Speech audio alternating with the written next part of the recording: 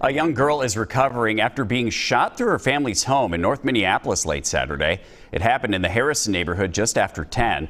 Police say the girl, who is a toddler, was taken to the hospital but is expected to survive. Adam Duxter shares why on a night with multiple shootings in the city, this one in particular has neighbors very upset. Jillian Woyi says she's still processing what happened across the street from her home last night. It just feels surreal. After a gunman opened fire on her street, bullets flying through cars in her neighbor's home with the toddler inside. Frustrated. I'm frustrated that a child that didn't deserve that was caught in the middle of whatever is going on. Woyi has multiple children at home herself. Scared.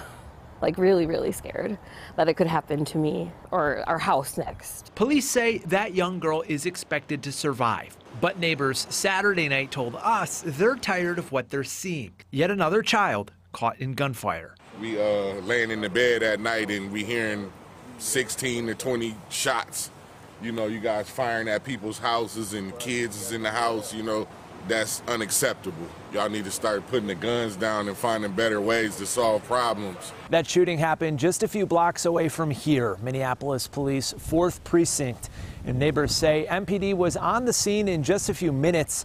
As of this morning, police are not able to tell us if they've got anyone in custody. Jillian's only lived here for a year or so, but says now she's thinking about what's next. Thinking of just tentatively in the way back of my mind, considering whether we should be staying. I know that I want to be a part of a change, and that would be my reason to not leave. But I really can't compromise the safety of my family. Adam Duxter, WCCO 4 News. About a half hour before the toddler was shot, Minneapolis police responded to a different shooting. This one happened in the 3300 block of Colfax Avenue North. Officers were responding to a shots fired call.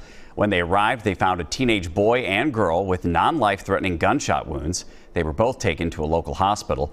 Officers are currently investigating to figure out what happened. Before those two separate shootings, a man was shot in the 3800 block of Penn Avenue North just after 7:30 last night. Police responded to the scene after hearing about multiple shots fired.